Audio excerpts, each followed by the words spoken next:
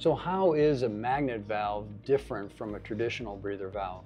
So a breather valve is a mechanical device. It's typically a half inch to four inches in diameter. And you install it on a container in order to equalize the pressure from inside the container to its surroundings.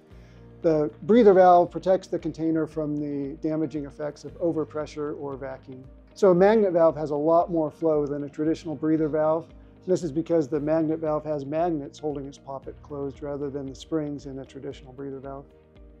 So why would a person choose a magnet valve over a traditional breather valve? So a magnet valve has a lot more airflow than a traditional breather valve, so it can exhaust a pressure differential inside a container much more quickly. And this is especially important for rapid decompression events. So how long does it take a magnet valve to achieve full flow? It only takes 0.04 seconds, which is actually quicker than the blink of an eye.